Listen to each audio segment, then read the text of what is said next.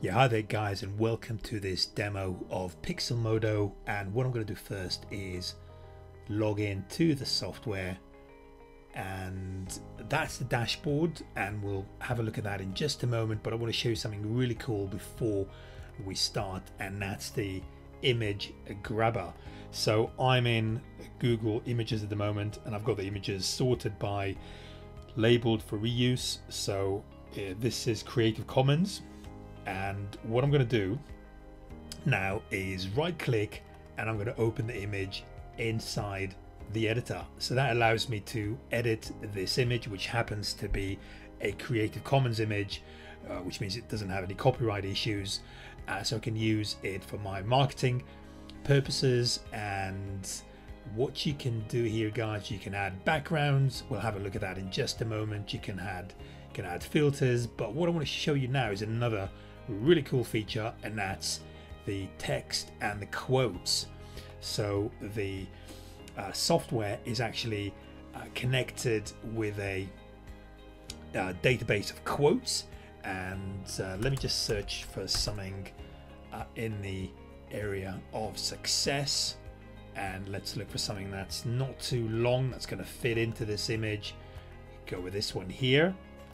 And I'm just going to put it here on the side and I can uh, make it bold and I can change the colors. So what do we go for? Something that's nice and bright for us. And I can have some shadows and I can have it blurred as well. So I can do all of that and then the other thing I can do is I can just add a normal text. I'm not going to do that now. I will do I'll show this to you later on, but we'll get rid of that for now. But you can also uh, add a filter to the entire image. So, for example, you can add a color overlay like this. For example, let's find us something a little bit prettier like that, more subtle. And then you can darken the image as well and you can blur it as well. You can saturate it and play around with the hues and the brightness and the contrast. So you can do all of that within the image and then once you've got once you sort of got it the way that you want it to look you can actually share it. Now we have two sharing facilities.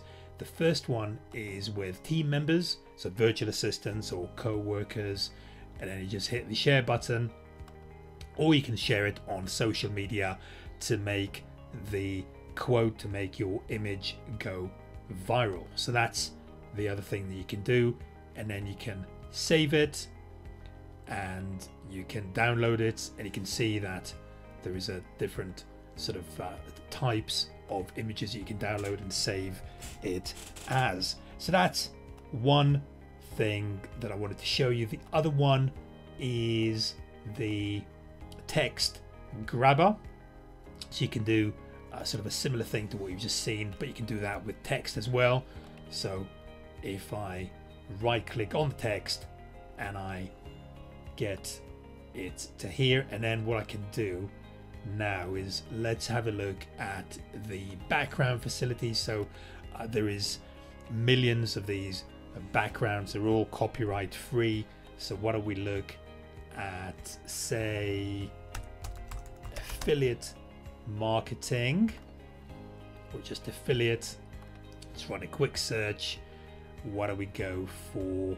Something that we know is going to be nice and bright to be able to add this image to. So what do we go for this? Say, and uh, we can make this uh, just visible. We can play around with the text color. And then again, we can filter the image. We can darken it. We can blur it. Saturate, hue, brightness, and contrast are all things that we can play with as well. So that's another really, really cool feature that we have. And then what I want to do now, let me just close these down and let's just go back to the library. So that's your default setting when you log in. And what you need to do is create a new design. And what I want to do now is show you the various design formats that exist. There's quite a few of these, or you can just choose your own custom. And what I also want to show you, we also have merchandise. You can choose t-shirt designs, but what I want to do now is just show you the various templates that we have as well on the software. And so you can either go with a blank template or you can choose a template from the library. So why don't we go for say uh, this lady here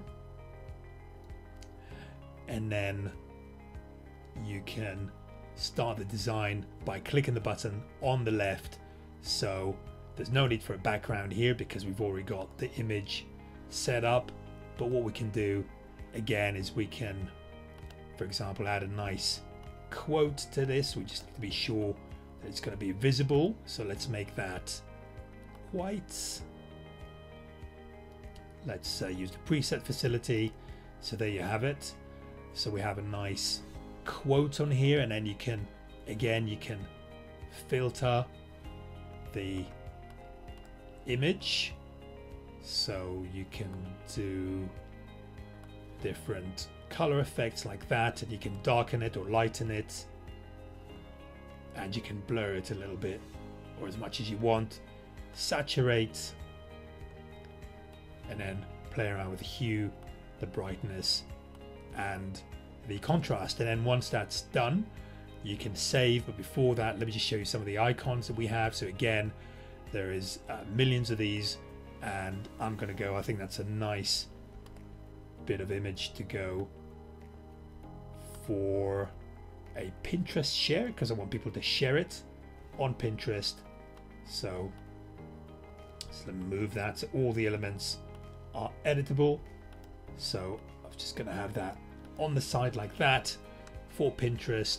So that's my icons just there. And as I said, there's loads and loads of these. And we can also add some shapes. So again, there's loads and loads of shapes. Undo, redo, and then you can move a layer back or move a layer forward and then share, save, and download. So hopefully you found this short tutorial uh, beneficial and we look forward to seeing you on the inside, enjoying the software. Speak to you soon. All the best.